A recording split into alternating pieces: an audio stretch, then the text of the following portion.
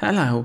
The title says it all, so let's go. Trapper. For Trapper, let's make it so that if a survivor steps in a trap, they get downed, even if they escape. Honestly, with how often survivors actually get trapped, I don't think this will make Trapper that much better, or even make him good, but it just makes sense. I mean, these traps are meant for bears, not people. You try stepping in one and we'll see how you favor. Wraith. Honestly, I think Wraith is perfect, but if I got to give him a change, I'll make it so that Wraith can attack while invisible, but only short range, not really lunge, but the moment he lands a hit, he becomes visible. Is this necessary?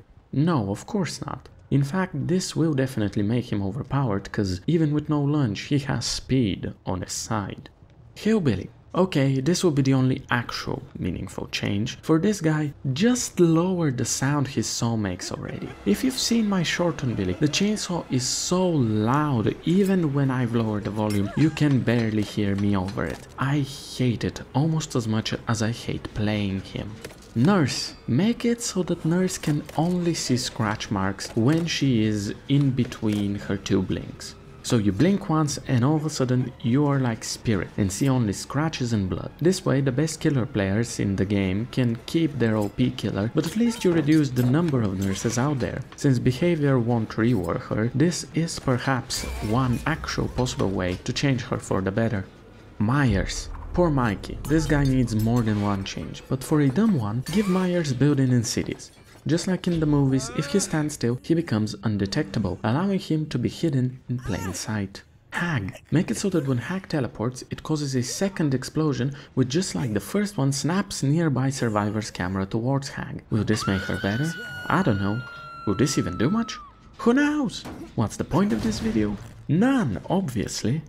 Doctor. Okay, so if a survivor is in Madness Tree and Doctor shocks them, he gets to see their auras for a couple seconds. This makes Doctor better in chase and encourages him to use his ability more. Will this annoy survivors?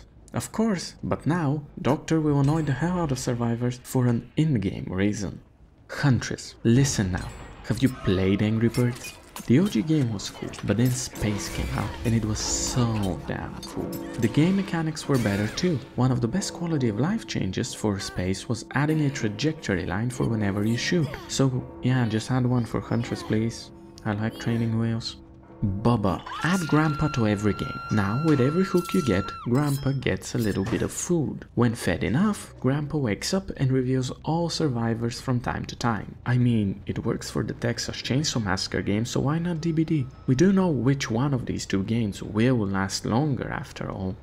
Freddy. Give us old Freddy back. I know it's been years since his initial rework, however I believe that old Freddy was better for the game regardless. Maybe give him building exposed against sleeping survivors, just to make the 7 seconds it takes for them to fall asleep more reasonable. Pig. I don't know what to do for Pig, so let's just go with a classic and nerf her. Maybe reduce her traps too. Yeah, that sounds about right. Clown. I'd give Clown a third bottle type. Currently, he has a bottle which slows survivors and one which speeds up anyone. Let's add a green bottle, which slowly poisons both survivors and generators within it. Essentially, if survivors spend too long in it, they take damage, and the same goes for generators. This way, you can damage a gen without having to go all the way to it, and this will also make survivors leave the gen for a bit. Spirit. Make it so that if Spirit stands still for 2 seconds, survivors start hearing the vacuum sounds, as if she's phasing. You know, the stand still tech from before. It's not really good for the game, but damn if it's not some of the most hilarious shit possible in Dead by Daylight. Legion. Start the game with all 4 Legion members in the 4 corners of the map. Legion can switch between them at will like twins, but survivors can't actually kill the other members like they can Victor. To compensate, let's give it a cooldown, why not? What could go wrong? Plague. Remove the mechanic where she automatically gets corrupt purge if all fountains are used. Instead, if all fountains are corrupted, Plague gains the ability to consume them at will whenever she sees fit, no matter where she is. And if she does so, the corrupt purge will last like a minute longer, maybe two, something of the sort. Who knows? Ghostface. Add the cashier from the Ghostface trailer in the match as an NPC. Survivors can talk to him and you can kill him. Does he do anything? Not in the slightest. He just seems like a chill dude. Demogorgon. You can no longer create a portal anywhere on the map. Instead, there are predetermined spots for them. However, after you've placed one portal, you can immediately use it to get to any other spot, creating a portal once you come out. This way, it will just make the gameplay more fluid and perhaps dynamic, I guess. Oni. Blood orbs will now slowly drift towards the survivors who they came from as long as they are injured, that is. It's a minor change that allows Oni to find the ones who refuse to heal and anyone who might be willing to heal them. Deathslinger. Add a critical spot to survivors and make it so that if Deathslinger hits them right on it, his hit becomes an instant down. You can go with the usual video game head spot or use a more lore accurate abdomen shot that like rips their guts out or something. Pyramid Head. Make Trails of Torment infinite. The only reason why is cause one time I played a match against this really good Trongo player and we ended up goofing off after he killed half of us. To communicate we pointed and he wrote with the trails but that took forever cause of how little trails Trongo actually gets. Come on Behaviour, don't silence the Trongos. Blight. Originally, I was gonna recommend infinite rushes on a cooldown, but the PTB got there before me, so what do we do now? Maybe just remove Blight's ability to use add-ons. He's strong enough even without them, plus they seem to still be way too overtuned on the PTB.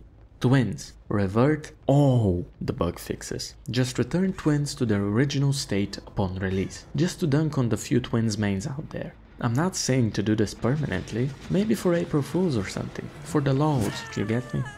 Trickster. Give Trickster the ability to jump over any terrain. However, he can basic attack for a bit afterwards, but only use his knives. Hopefully this makes the Trickster a bit trickier, as at the moment the only tricky thing about facing the guy is making sure not to miss the disconnect button. Nemesis. Remove the healing syringes, or at least half of them, just cause. I am not biased, you are. Shut up, this is my video and I can say whatever I want. Just buff him, please. Pinhead. Make that one iridescent add-on base kit. The one that limits the range, survivors can see the box. Except allow one survivor to see the box as usual. This way, the survivors will be forced to take turns dealing with the box, wasting the time of everyone instead of just one person. Artist. Give her a secondary ability which allows her to swarm a generator. For every gen swarmed, Artist has one less crow in her disposal and she can never use all her birds on generators. What this means is that if she has 3 crows, she can have up to 2 gens swarmed. When a survivor interacts with a swarm generator, they get swarmed themselves as usual. An artist gets a noise notification and all the usual benefits. It's just a way to give the other birds something to do, as when I play artist, I tend not to use more than one bird at a time, so why not get some more use out of all my birds? Sadako. Once a survivor reaches full 7 stacks of condemned, that's it. They can no longer use tapes or any other means to get it back down. Your time has come and Sadako is coming for that ass with nothing you can do to stop her. Dredge. Highlight locked lockers in yellow. So, if you want to go to a gen and there are two lockers next to it, if one of them is locked and the other one isn't, by seeing one aura in yellow and the other one in white, you can make the right choice. It's a small quality of life change and a little help, since to be honest, Dredge does need a lot of help. Wesker. Double the amount of voice lines, both quantity and frequency. Why not? He sounds cool. Knight. Allow Knight to collect the standard of his own guards. Doing so gives the guard a slight boost in whatever way you see fit and increases the time they spend chasing by a couple seconds. Skull Merchant. The predictable man would say to delete her from the game, and I, what am I if not predictable? Though in reality I have neither played as or against her, so I don't really have any opinion on the matter. Singularity. Make it so that if Singularity targets a slipstream survivor from a camera, the overclock is twice as long. So killers are encouraged to use cameras in the middle of chases for both the first and second tag, not just their gun.